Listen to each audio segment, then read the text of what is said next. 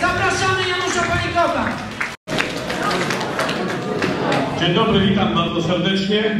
Strasznie mi jest miło, że Państwo w taki deszcz, w taką pogodę, zamiast wziąć flaszkę dobrego bimbru, zrobionego z taniego cukru, kupionego tydzień temu w Suwałkach, kawałek kiełbasy, przychodzicie Państwo na spotkanie z politykiem. Mój Boże, to naprawdę źle się musi w kraju dziać, że ludzie już podejmują takie desperackie decyzje. Ale te problemy to cholernie wysokie bezrobocie. 2,5 miliona ludzi w Polsce bez pracy do 3. 3 miliony wyjechało za pracą za granicę. Prawie 6,5, 7 milionów ludzi bez pracy w Polsce. Na 20 milionów tych, którzy są w tak zwanym wieku produkcyjnym. To jest 30 kilka procent, proszę Państwa, to jest niewyobrażalna liczba. Żeby co trzeci praktycznie Polak albo był za granicą, albo nie miał pracy w kraju. Z tego powodu są kłopoty w ZUS-ie.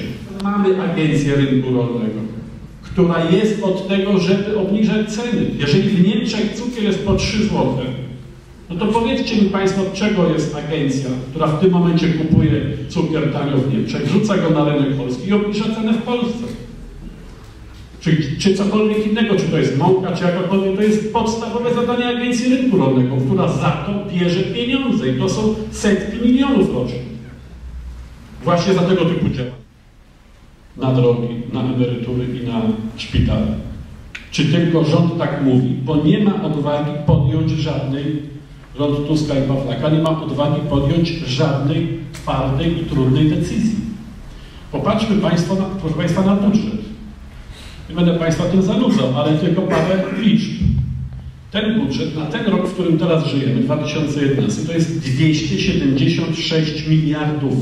Tyle mamy wydać jako państwo polskie w tym roku. 276 miliardów. Tyle mamy w budżecie. I nie ma tam tych 20 miliardów na drogi. Brakuje. Na emerytury do ZUS-u mamy dopłacić 11 miliardów, do KRUS-u miliard i tak dalej. Pytanie jest, na co idą te pieniądze? I czy one są mądrze, z głową i dobrze dla Polski w tej chwili wydane? Często mi się zarzuca, że ja walczę z Kościołem.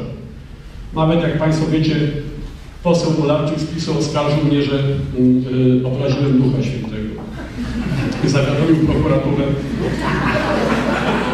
Prokurator mnie wezwał.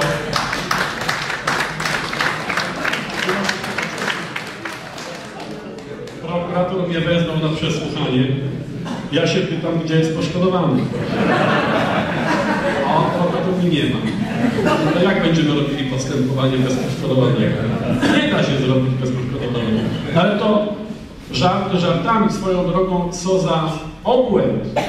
Prokuratura naprawdę już nie ma się czym zajmować, żeby mnie 40 razy w zeszłym roku ścigać o byle co. Bo jakiś poseł PiSu czy jakiś inny coś napisze, no to ja mam od razu wezwanie. Dzisiaj powinien być w sądzie w Lublinie, wybrałem wizytę u Państwa, bo się wcześniej z Państwem umówiłem, bo z kolei Kaczyński mnie pozwał za kurdupla. I sąd wyznaczył rozprawę tak jakbym ja skłamał, mówiąc, że on nie jest dużego wzrostu. I, i, i tak, znaczy tak, Kaczyński może powiedzieć, że Tusk z Putinem zamordowali Lecha Kaczyńskiego i jakoś go prokuratura nie, nie, nie wzywa na przesłuchanie. Staniszkic może powiedzieć, że wśród rodziców redaktorów Gazety Wyborczej są selekcjonerzy z Katynia. Czy można coś bardziej okropnego o kimkolwiek w Polsce powiedzieć? Że jego rodzice to decydowali o tym, kto z NKWD strzelił komu w głowę. No już nie można gorzej oskarżyć po prostu niż o coś takiego. Prokuratura się tym nie zajmuje. Ja cokolwiek powiem, na jakikolwiek temat, po prostu jestem natychmiast prokuratorem.